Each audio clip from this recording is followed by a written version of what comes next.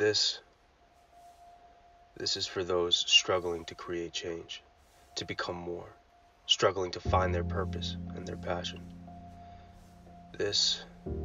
This is for those with ambition, with relentless drive and uncompromising fortitude, for the athlete, the scholar, the artist, and the scientist seeking triumph in their craft, for anyone who's ever been broken and beaten down by life, gasping for air, begging for a way out, or for anyone who sees a vision larger than the universe, who has the audacity to make what exists between their ears exist before their own eyes.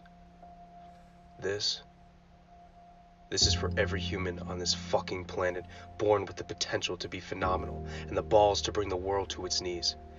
This, this is for you. There's a story some of you may already know. A story about a hero named Hercules. Most hear the name and, and think of his strength and power, or immediately imagine the infamous fight between Hercules and the lion. Well, there's much more to the ancient Greek myth than that. In fact, Despite Hercules' strength, it isn't his true power. And the lion, the lion was just one of 12 arduous labors he had to endure. Zeus's wife, Hera, hated Hercules because he was the product of her husband's affair. Enraged and upset, Hera cast a spell on Hercules that made him go insane. In a confused and angry state, Hercules murdered his own wife and children, and when he awakened from the curse, he was devastated. He was devastated by what he had done, broken by what he had done. He could not believe what his own hands were capable of, how he could do nothing but wallow in self pity and grief for the catastrophe he had caused. Hercules grew deeply saddened. He grew deeply suicidal and prayed to the gods for guidance. Please, please, help me find a way. Help me find my way. I need help. Please, just help. How many of you have been there? Crippled by your circumstance. Apollo confronted Hercules and said, Heracles, son of Zeus, I know what happened was the doing of Hera, but horrid crimes were committed, and for that you must be punished. He told Hercules that to save himself from his wrongdoing, to move forward and to free himself from the pain and strife ravaging his mind and soul, that he would have to endure 12 years of hardship, 12 trying and challenging and nearly impossible labors. Hercules agreed. See, he knew the pain of the trials would be extreme. He knew he was going to suffer, to be beaten and broken and tested. But he also knew that the pain of sulking and dwelling and staying stagnant was far, far worse. That the pain of regret and giving into life's unjust circumstances was far fucking worse. So, as I said, Hercules agreed. Now, we know how the story goes from here, right? How he fights tirelessly for freedom from his fallacy. And, you know, everyone focuses on or remembers the lion for some reason, right? The big, bad, angry lion that Hercules killed with a swing of his club. But guys, that was just the first labor. You see, it's the 12th and final trial that we need to pay attention to. Because in it, Hercules fights the ferocious three headed Cerberus, a dog like creature with a serpent's tail and snakes all along its body. It was this last, final trial that was the hardest, the most difficult, the most brutal and barbaric. Hercules traveled down into the underworld, and when he found Hades, he told him what he must do. Hades agreed, but gave him one condition, and guys, this is it. This is fucking it. This is why the 12th and last, the final trial was so fucking demanding. Listen closely. Hades said to Hercules, I understand what you must do, and I will allow you to fight Cerberus, guardian of the gates of hell. But only if you overpower my beast with nothing more than your own brute strength no weapons, no help from the gods, and no help from the goddesses above. Let me make sure you heard me correctly. Hercules was to face his worst, toughest, most savage opponent with nothing more than his bare fists and the heart that beat within his chest.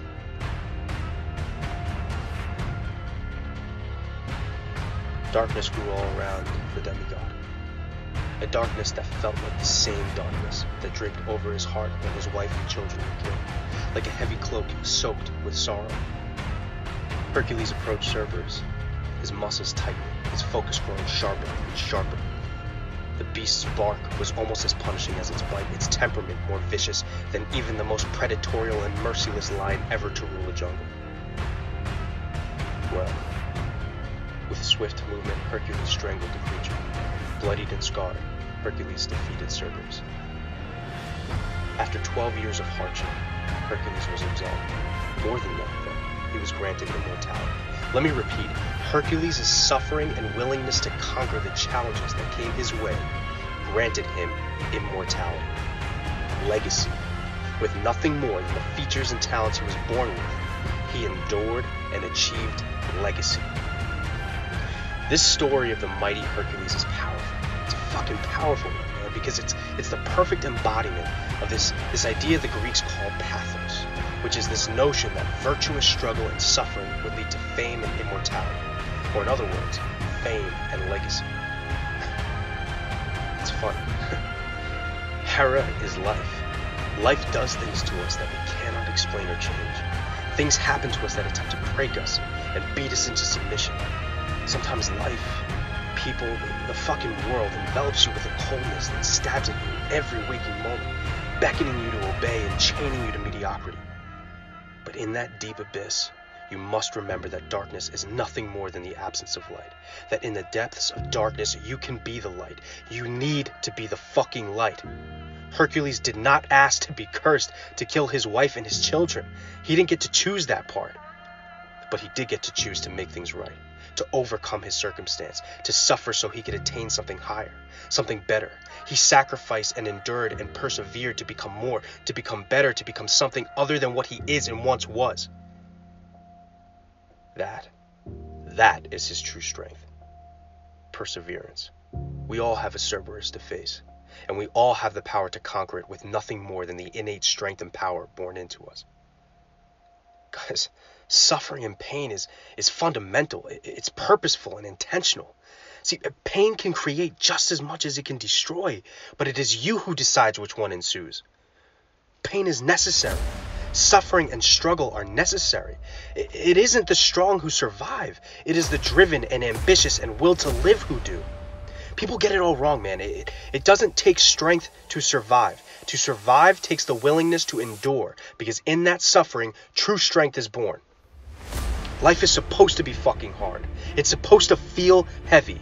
One of our greatest and most prized superpowers as human beings is our ability to adapt.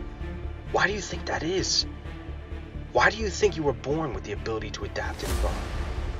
Why do you think you were born with intellect and, and this insane capacity for pain?